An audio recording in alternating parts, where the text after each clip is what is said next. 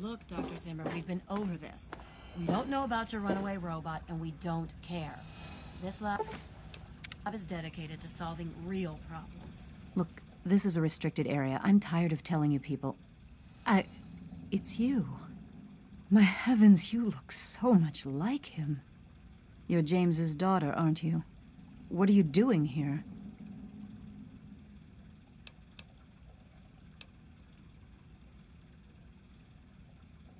You were too young to remember, and I suppose James never spoke of me. Typical. I am Dr. Madison Li. I worked with your parents many years ago. Now I run the science lab here in Rivet City.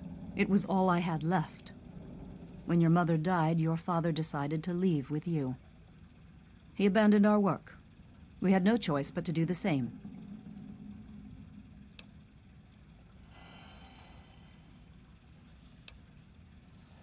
I suppose so.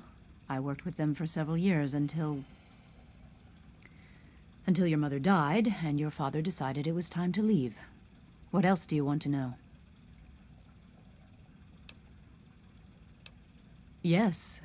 Your mother was... Well, she was a good woman. A very dedicated scientist. Your father loved her very much. It was a shame that she died. She had been excited to meet you. Complications from childbirth. None of us were expecting it. We weren't as prepared as we could have been. You have to understand, we were struggling with scavenged, derelict equipment. We did everything we could.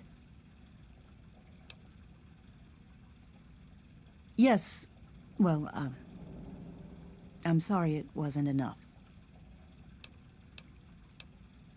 James? He was very driven, determined to change the world. Well, we all were back then, I suppose. He was focused on two things, really. Making Project Purity work, and your mother. When she died, I think... I think he gave up. I know he wanted to keep you safe. But I think part of what he did was run away. But it seems that he never really was able to get over the idea. I'm frankly shocked that he waited all this time, and wants to try again. Okay.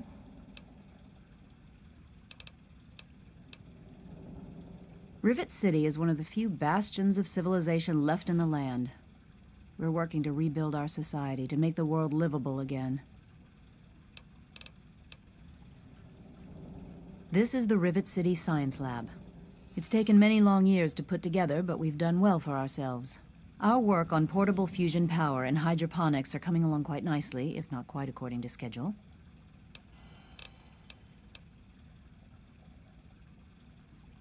Project Purity, we called it. What do you want to know? It was simple, really. Fresh, clean water for everyone. Such a simple idea, and yet so impossible to realize. The plan was to build a facility that could purify all the water in the tidal basin at once. No radiation, no muck, just clear water. It just turned out to be more difficult than we anticipated. We had the basic principles down, we understood most of the science behind it, but the radiation in the area is so pervasive. Small-scale tests were fine, but anytime we tried to test the process on a larger scale, it was just... too much. Maybe if we'd had more time, or better equipment. You happened. It wasn't just you. We had more problems than we could handle already, but your birth is what finally pushed it over the edge. Your father decided that you were more important than everything we'd been working for, and he left. He left all of us. Once he was gone, the Brotherhood decided we weren't worth their time anymore. Without their protection, we had to abandon the Purifier. Okay.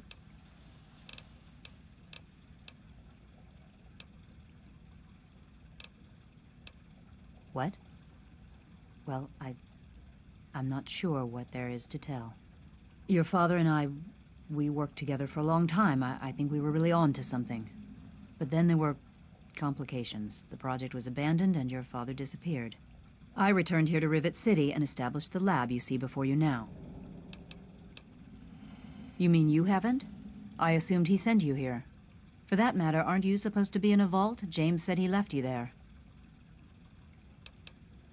Did you? I was under the impression that's exactly the opposite of what he wanted for you. Well, you won't find him here. He's come and gone already. Your father insisted that we return to work on Project Purity. I tried telling him too much time has passed. There's no way it would work. Predictably, he refused to listen to me. He says he can prove it will work and headed off to the old lab. I'm sorry, I don't know what else to tell you. It's in the old Jefferson Memorial Building, northwest of here. Please, don't go after him. It was foolish of him to even think about going there alone.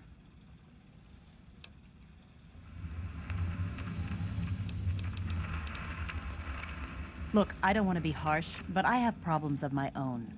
I don't have the resources to support James's foolish endeavors or your chasing after him. I'm sorry. You understand, I have enough to worry about already. The last I knew, he was headed back to the lab at Project Purity in the old Jefferson Memorial Building. I still say it's dangerous, and he shouldn't have risked it. That's all I know. Good luck finding your father. Yes, yes.